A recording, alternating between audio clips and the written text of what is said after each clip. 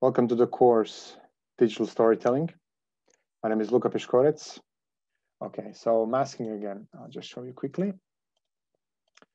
Um, and for that, I actually want to use maybe some other images. So ah, maybe uh, let's use some concrete. I have some concrete here, uh, maybe some nice dirty concrete, maybe something like this. Okay, this is a great concrete. This goes in. And then another one is maybe this one or this one. Okay, maybe something like this one here I really like, concrete B. Uh, concrete B bump diff. Okay, so that's a diffusion map. You put it in here. Okay, so I'll just kind of show you quickly um, how to do this. So I can actually just maybe go here, save as, I will just save it under uh, tutorials, session two, material texturing, and I'll just save it as PSD, and I can also give you this file later. Um, hmm. oh man, Photoshop here. Okay. 1, 11, 03, mm, texturing, text, ring, and then uh, I will call it uh, mask layer. Okay. Okay, so um, this is now a background, and uh, I would like maybe background to be completely empty, and I want this to be sort of a layer. So I can go uh, uh, Control A, Control X. I have a white background, and Control Paste, and uh, concrete one. Okay. Okay, there's again a question in chat. Ah, chat. I lost the chat. I cannot see the chat. um, I apologize. Somehow my chat is lost. Ah, here. Will you share the material textures in the my courses? Yes, I will. Uh, I will, but uh, because there's so many of them and they're ordered, I, I will I will put them in the materials somewhere, and I will um, inform you either next time or you can kind of find it. So, how can I see the pixels in the image? Okay, let's let's actually answer this first. This um, this masking. Okay, so I have um, my concrete uh, one is here, and there's that kind of background here. Okay, now I will take uh, this concrete number two, copy, Control C, and here I can go paste. Okay, so they're the same size, so they kind of overlay quite nicely.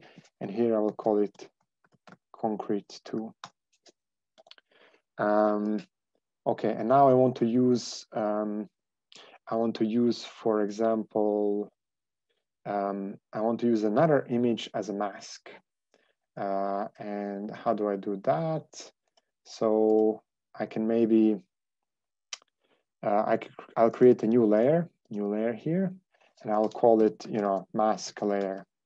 Okay, and mask layer, I will just use, um, I will use a paint bucket here, and I'll make everything black. Oh, this is not black. To here, change the color to black. Okay, so I will make everything black. And now I will I will draw I will draw something here. So I will kind of go with uh, I think I can draw with white or so I'm just creating a mask layer. Maybe it's a, some kind of circle, um, something like this. And I will fill it up with again paint bucket here. What's my paint bucket here? Okay, something like this. So this is now my mask layer. Now this mask, what this mask layer does, it basically says whatever is black will not um, will not be shown, and whatever is white will be will remain. Or this is my mask layer, and um, and I will add this mask layer onto this concrete two. So I go here, I select concrete two. I go here, add mask layer or add layer mask. Hop, and um, I have to copy paste this image. So it's a black and white image, but again, it can be gray, it can be grayscale image. Um, copy, and I can then remove it from here as well. And now I have to go into mask here. I have to go under channels, here mask, preview it, and I have to paste it. Okay, so now everything that was black becomes kind of red, uh, which means it will not be shown, and everything that is um, everything that was white will will kind of will be left here. Or so that's now my mask layer. And if I go back here, I hope you can see kind of what sort of happened. Or so now the this image was kind of cut off. Or so this mask, uh, we used it as a basically cutting stencil for this image here. That's why the lower image is, um, at, or the image that was on the top is basically everything is cut out and there's just this circle here that is left. Okay, I hope this is this is kind of the best that I could um, that I could explain. Let me just actually, I just realized something. Uh, I can maybe add, you know, I can try just to quickly add a shadow here, or so I can um, uh, maybe uh, select this object one selection hub. I can just kind of um, I use this uh, circle selection, remove it here, go underneath, go down, and now I just want to add a shadow. I think you can add shadow directly in some other ways, but for example, I can just kind of, um, I can use burn tool here to sort of, uh, maybe I go here to shadows and actually, no, not shadows, midtones, midtones, and I'm just gonna add kind of a sort of a shadow here. Uh, just again, again, there, there are a few ways that you can do shadows, but okay, now it kind of looks a little bit like a shadow or something like that. Um, and um, yeah, that's it. I'll just save this. So I hope this kind of explained a little bit um, uh, use with the mask. And of course, this mask can be anything. Um, can be anything. So I can use, for example, a photograph for it. Um, let's actually let's try to do that as well. So let's find, um, you know, a good photograph, maybe uh, Marlon Brando. Okay, let's find Mr. Brando. Here is black and white image, very handsome guy.